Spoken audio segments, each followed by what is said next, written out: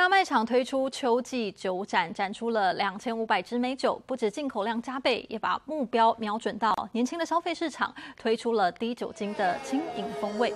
葡萄牙及西班牙两大旧世代的酒庄代表，以高 CP 值的优势，在今年上半年进口量都双双倍增。